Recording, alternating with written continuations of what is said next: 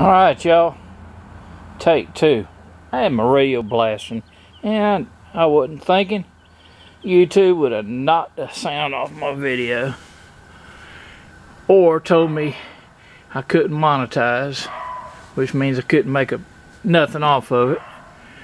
Yeah, and you don't make much off a video, but it adds up over. And if you get some good videos, uh, really good videos, with lots of hits and lots of comments, this and that, you do. You do. That does help. Uh, my best two or best one I can think of offhand is like uh, Mud One was my best video. Then uh, tested my Badland 2500 winch. That was my second best. That's my first best now. Yeah. Anyway. Alright, we got exhaust pipe done. Um, yeah, I held a piece on there and I had to do a couple cuts and I, I kept my little spacer on there to keep debris from going into the head and man I tell you what when I took that pipe off a couple times you would not be surprised stuff that fell down out of the pipe. Yeah that little uh, cutoff plate did work good hey man I can make a restrictor plate. Drill a uh, 3 8 hole in there and probably only go 10 miles an hour. Oh me. Yeah. Anyway she come along put oil in it. Um the old grasshopper gave me this motor and I really appreciate grasshopper. You don't know how much. Uh he uh had 530 in it and I read up on small engines in summertime and 530 is only good to I think like 80 degrees or something like that maybe 90 and we hit hotter than that. So I got 1030 in it now. I'm gonna run 1030 it for a little while because the motor is sort of new. I mean he didn't put a lot of time on it and it's still kind of breaking in.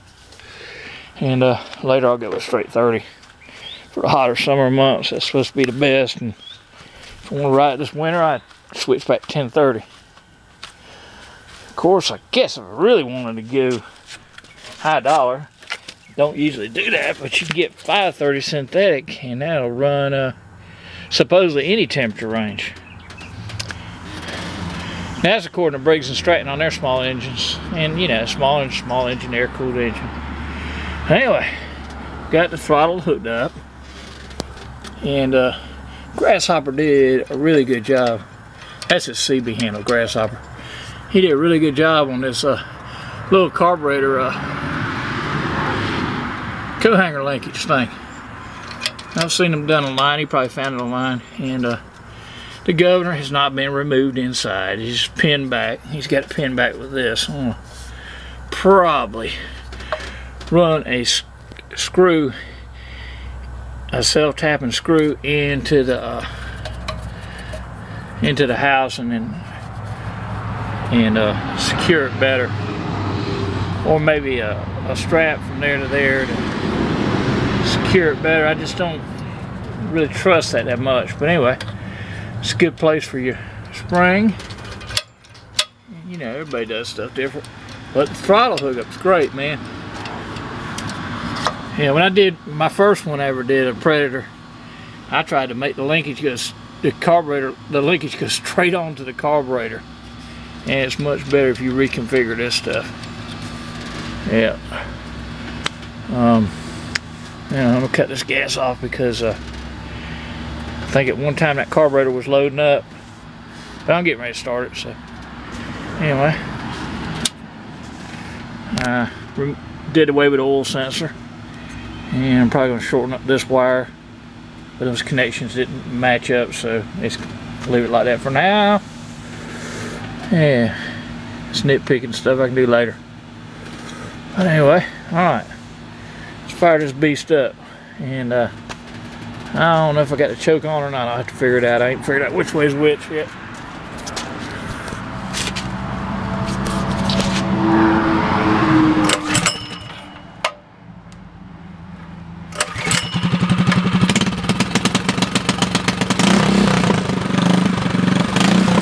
Alright, so off is there.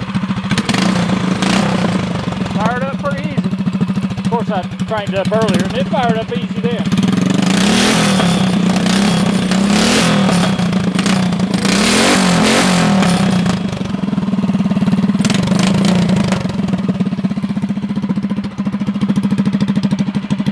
They keep sliding forward on my block.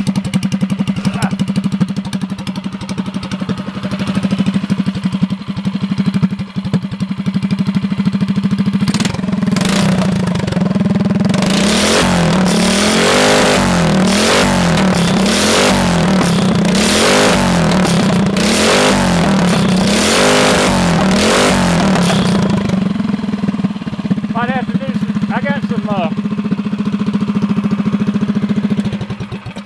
I got a set of uh, screwdriver bits that uh, uh, I've seen HO Motorsports use and quite other, quite a few other people for rejecting carburetors. And uh, I think I got a gas leak somewhere. I can't. A cheap filter maybe or something. Dang it. Oh well, I'm gonna get my shut off valve. I have to figure that out. Here's my shut off valve.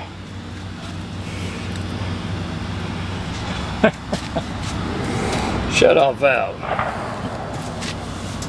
And I do want to run this gas out this carburetor to run a little bit out anyway.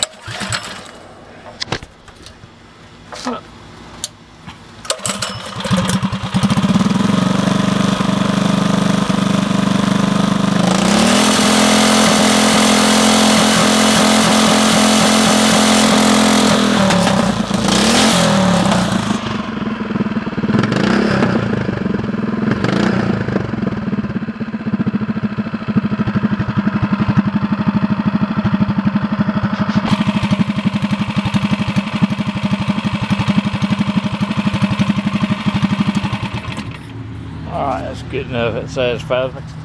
Should have got most of that out of that bowl.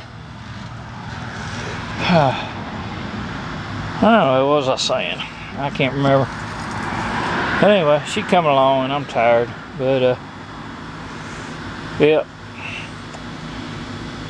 I know this ain't the best video. Of course, I had to reclock the starter.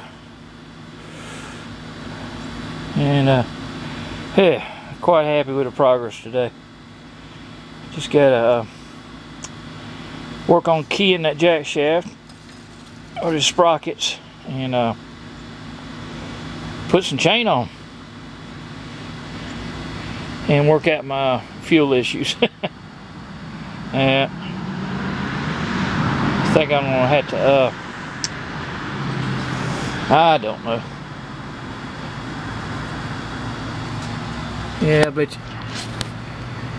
you know, I think that's that uh, gas filter I had on my lawnmower that was leaking. I replaced. I think the gas filter itself is leaking.